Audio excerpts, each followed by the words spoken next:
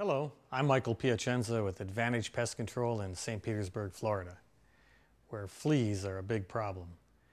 I was asked the other day, how do I get rid of fleas in my home without using a flea bomb? I'll tell you the truth, I don't like to use flea bombs at all. I don't advise using them and I don't use them in my practice. Okay? What I like to do is uh, attack the fleas in a very uh, safe and natural way. I utilize a boric acid dust mixed with a botanical dust from EcoSmart and this attacks the fleas from the egg and the larva stage. Now the bombs are primarily going after them in the adult stage and they're going to have something in it like a permethrin uh, which is relatively safe but it's throwing it up in a gaseous form. Plus it's settling down not just on the floor and on the, the couch where the fleas might be but also on your countertops and everywhere else. So when I need to do an adult knockdown, you know, I use an adulticide that's basically a similar product.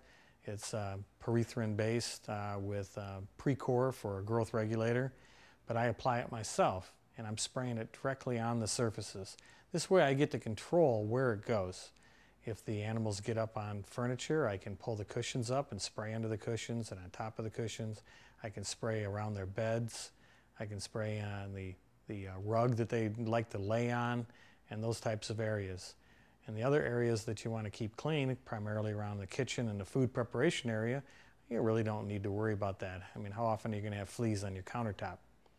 So I really don't like using the bombs. It's just, uh, it's the easy man's way of doing the job. Kick off a bomb and leave and hope for the best. You know, I prefer to do things the safe and natural way as much as possible. In fact, if you can live with the fleas for 30 days you know, in an area where the dust can remain on the floor, that alone can take care of the problem. You're just going to have to go through a couple of generations of live fleas to get through to it. Alrighty, well I hope this has been helpful for you. I'm Michael Piacenza with Advantage Pest Control, coming to you from sunny St. Petersburg, Florida.